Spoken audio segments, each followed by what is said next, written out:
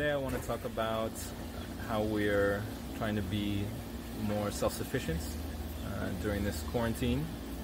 Uh, this is in July of 2020. I'm coming to you uh, in the height of the coronavirus pandemic.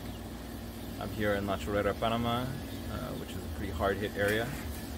Uh, I'm pretty sure I actually have coronavirus right now. I'm feeling kind of tired, and some people in our household have tested positive, uh, but I feel fine for the most part. And uh, we were very concerned with the breakdown of supply chains, uh, of uh, feeding ourselves, and uh,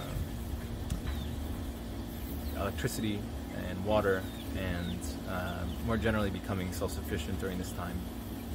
Uh, we moved into this property with grandparents in February during the pandemic, partially to support them and take care of each other uh, we think that this is going to be more and more important in, in the coming years. Uh, local support networks, local community agriculture and uh, utilities and so on. Uh, so we've really been experimenting a lot with that uh, during these few months. When we got here, this land was completely trashed. Uh, it's in a, a, pretty urban environment.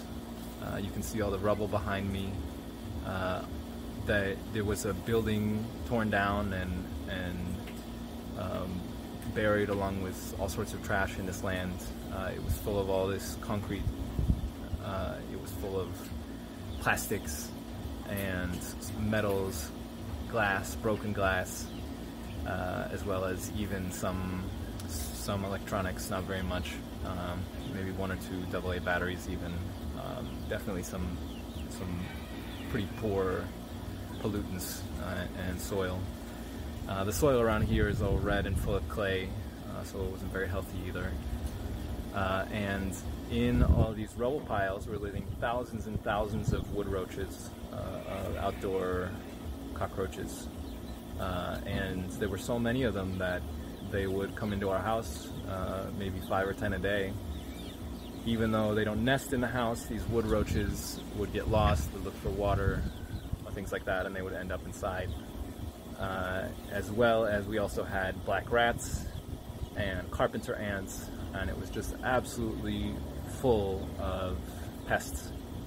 Uh, and we've almost entirely eliminated all those pests uh, that, and turned this wasteland into a nice uh, chicken sustaining ecosystem.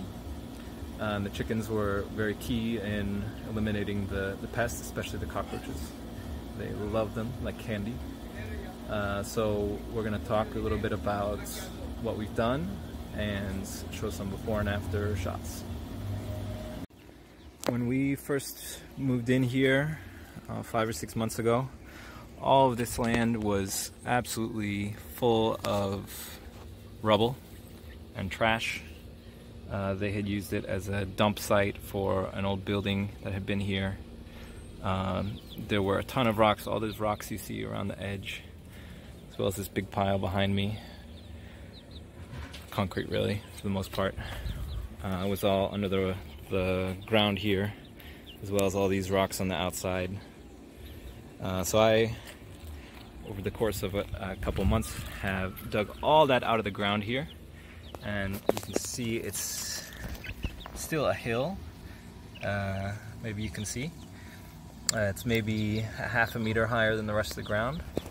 Uh, I dug out about a meter deep and took out all these rocks made a drainage ditch along the far side going down to drainage hole.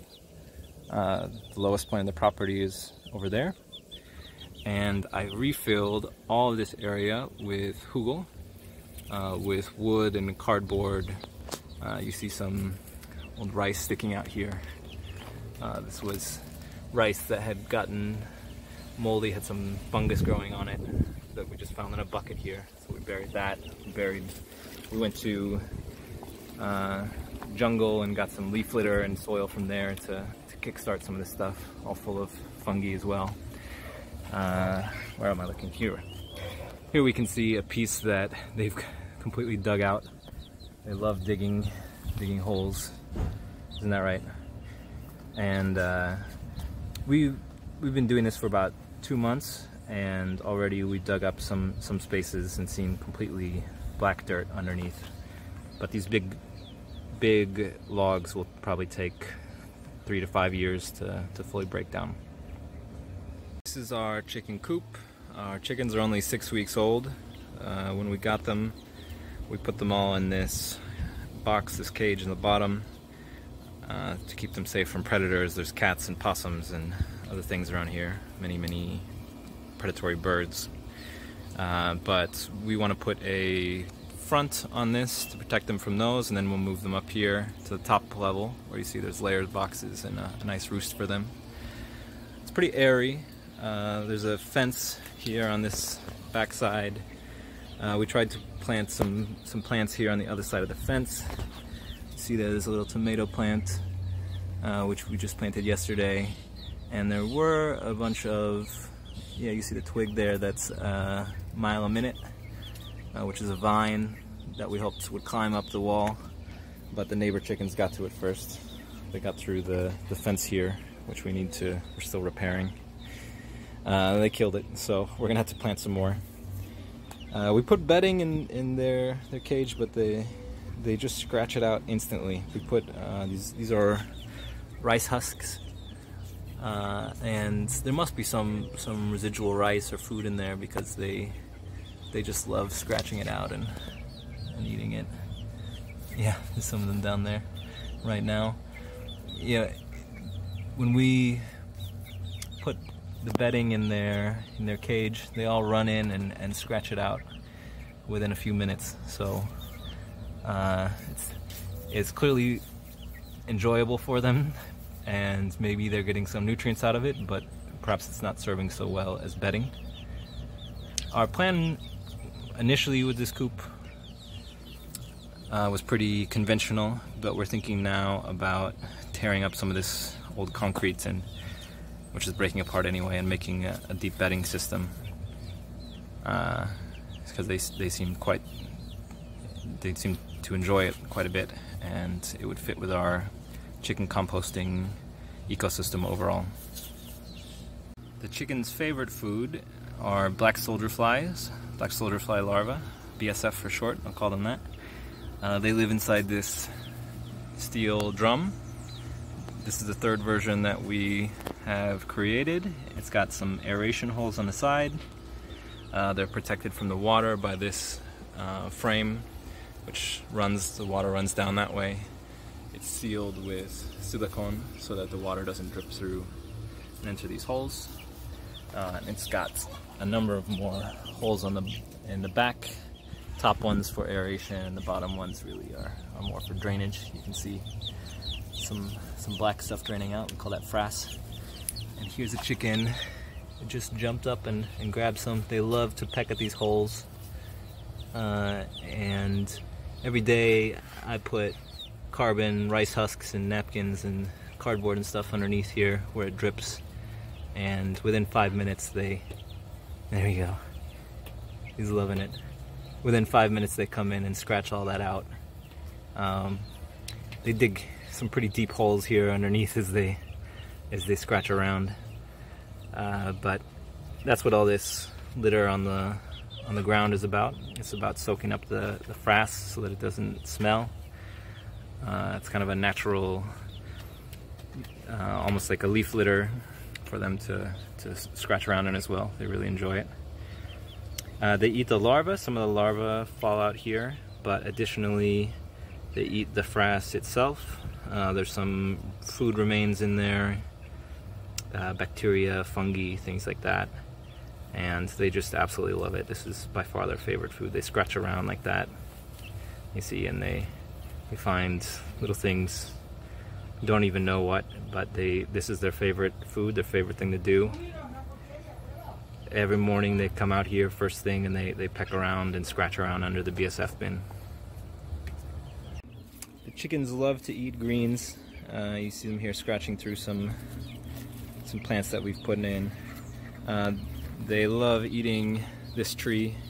Uh, it's got some nice fresh leaves here at the top, but they've eaten all through the bottom. We've hung some some other other leaves off it, but as you can see, they they've really defoliated a lot of these these branches. Uh, but the plant seems to be doing fine. It's just growing taller. Um, behind that, we have a papaya tree, uh, which is also very old and well established. Uh, when the papayas fall, they like to eat those if we if we let them. Uh, but they, they love greens, and uh, we're trying to give them more greens in their environment, uh, which is why we have been constructing this chicken feed box. Uh, it's still only a few days old, really an experiment, but inside you can see we've planted really just weeds, a number of plants from uh, around other places in the yard. The box lets them peck through, uh, and you can see they've anything that grows all the way through, they they defoliate entirely. Uh, but they can also get in a little bit, get through these these side holes, and uh, browse the edges. But they can't get at the roots, and the plants inside, at least so far, are are surviving and thriving well. The last plant uh, experiment, the last plant food that we're, we're trying to give them. You can see here on the ground are some corn uh, seeds. We've soaked these for 24 hours and then every morning I come out here and I uh, bury them lightly in the soil. They immediately scratch them up. They scratched these up this morning. Uh, we've also been doing this for about a week and so far none of them seem to have sprouted. Uh, but we're hoping that either corn or some other seeds we can get to sprout in this manner and they'll like it better. They, as you can see, do not really like the corn very much. They prefer other types of food. We have here two trees. A mango tree, which is very young. It's about doubled in size in the last few months. Uh, since we made a hugel put some compost around the base, it's, it's much happier. And behind that we have a cashew tree, Marañón, and uh, it had and still has a few uh, these matapalo vines, uh, which are, is a killer vine. They were really they killed a number of branches on the tree, which we had to cut off. Uh, and where the end of the vines are, there's a dark spot. Uh, there was a huge carpenter ant nest there. Uh, we killed the, the ants with some, some vinegar, broke apart the nest, and we have the, the nest material here in uh, old, our old BSF bin. Uh, this material is excellent for construction. It's waterproof like a natural cement. So we're going to pulverize this, probably right here under the, where it is. Uh, we'll make a little pool, fill it with duckweed, and the chickens will have fresh duckweed whenever they like. That's it for today. Thank you for watching. I hope you enjoyed. Please like the video and subscribe. Uh, if you subscribe, you'll learn a lot more about these projects. Clearly, we have a lot more work to do. Uh, we'll be talking more in the future about finishing up these different projects like the chicken coop, uh, the BSF bin we'll teach you about, the duckweed pond. Uh, we're also going to put, we're also going to build a solar oven, uh, composting toilet. We're going to put solar panels on the house, start collecting rainwater. Uh, we'll also talk about Bitcoin and distributed finance and really all the different ways that we are becoming self-sufficient and hopefully help you all do the same thing in this new world.